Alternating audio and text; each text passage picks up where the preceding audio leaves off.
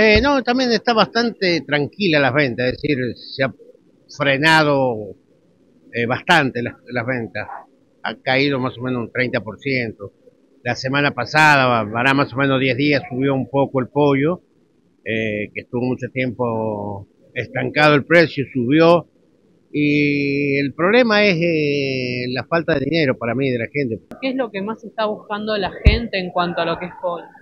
Y lleva alitas y suprema, que es lo más económico que hay para consumir.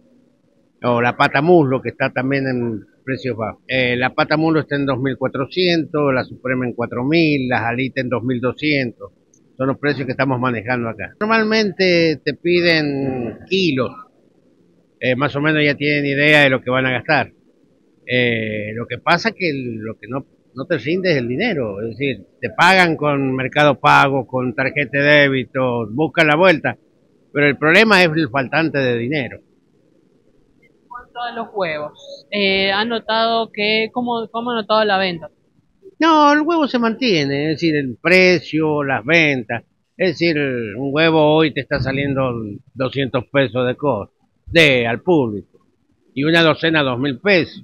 El huevo sigue manteniéndose en el mismo nivel. Lo que ha disminuido un poco la venta es el pollo y esas cosas, porque, pero el, vos fíjate lo que es la feria, hoy no hay nadie. En cuanto al aumento que ha habido la semana pasada, eh, ¿qué, ¿cuál ha sido también la respuesta que han tenido de parte de, de- de la gente que viene a comprar, de los clientes? No, no, el, el cliente de por sí ya más o menos es- se ha acostumbrado, pero estaba tranquilo, está ponerle un mes sin suba y eh, aumentó ahora 200 pesos por kilo cada cosa, una cosa así, que tampoco es mucho, la carne creo que ha subido el fin de semana, así que va ahí. El problema es otro para mí, el problema es el- que la gente no, no le alcanza no le alcanza. Ese es el problema.